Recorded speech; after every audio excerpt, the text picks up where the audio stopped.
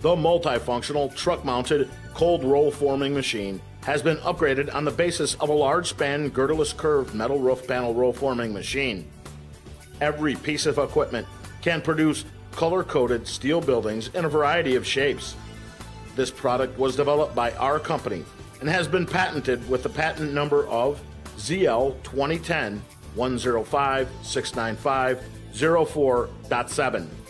It is widely applied in agricultural, industrial, residential, and public facilities, as well as entertainment venues, military, and government, etc.